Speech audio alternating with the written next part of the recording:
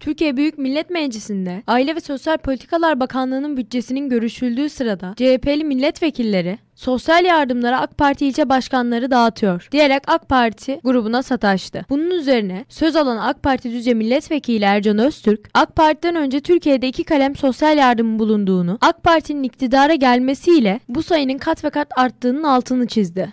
Öztürk'ün CHP milletvekillerine verdiği bu cevabı Öncü Medya Genel Yayın Yönetmeni Sadullah Ünsal kendisinin hazırlayıp sunduğu ve Düzce'nin gündemini ışık tutan Yorumlu Yorum programında gündeme getirdi.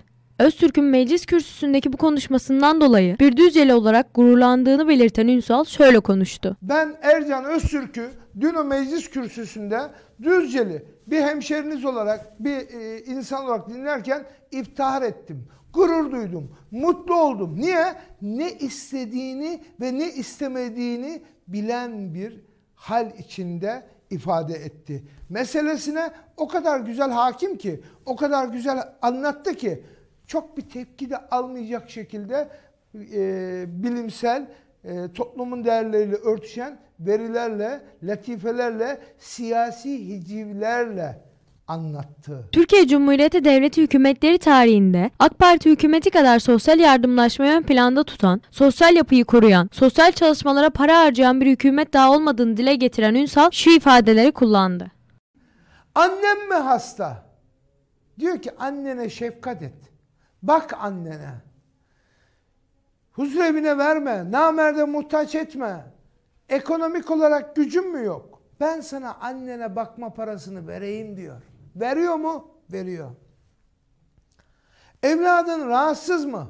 Ömür boyu rahatsız mı? Evladına sana anneye para vereyim, destek olayım bak diyor. Sosyal anlamda efendim e, hastalığı ve e, devamlılığı olan, devamlı nüksedecek olan tıp dilinde veya devamlı olan hastalığı olanlara araba e, ÖTV'siz araba mı? En üst seviyede. Yardım mı? Hakikaten bence bence bu kadar sosyal yardım çok ama çok ama çok istismara açık bir yapı ve hepsinden önemlisi de çok fazla bence. Ailesine parası için bakan insanları eleştiren Ünsal konuşmalarına şu şekilde devam etti. Hakikaten bir evlat anasına babasına, evladına bakmayacaksa e, dünyadaki olma gayesi ne ya? Anneye parayla mı bakılacak? Babaya parayla mı bakılacak? Babanın mülkü için mi bakılacak? Ananın maaşı için mi bakılacak? AK Parti hükümetinin sosyal yardımlaşma konusunda zirve yaptığını vurgulayan Ünsal açıklamalarında bulundu. 99 yılında, 2000'li yıllarda ki şimdiki nesil bunu bilmez. Hani bekara hanım boşamak kolay der hesabı. 2000'li yıllarda hastanelerde rehindin, rehin. Paran yoksa rehindin. Bir şeyler dolaşırdı. Efendime söyleyeyim e, bir e, Bağkur karneleri, SGK karneleri, ilacını alamayanlar komşusunun akrabasının üzerinden karne yazdırırlardı. Hakikaten gerek sağlık gerek e, sosyal yardımlaşma konusunda bu ülkeye bu AK Parti'nin Sayın Cumhurbaşkanı Recep Tayyip Erdoğan'ın tartışması bile yok. Kimin ne diyeceği ve ne dediği umurunda değil. Bir baba gibi. Eskiden biz Demirel'i baba bilirdik. Devlet baba derdik. Ee, ama demedik. Devlete baba demedik ama devlet bize babalığını yaptı. Ve yapıyor da. Ercan Öztürk'ün aday adaylığı zamanında 6 ay önceden milletvekili olacağı belirlenmiş isimlerden biri olduğunu belirten Ünsal, Ayşe Keşir'in Düzce siyasetine kazandırdığı bir değer. Ankara'da, Ankara'da Düzce için bir güneş daha doğuyor diyerek Ayşe Keşir'e teşekkür etti.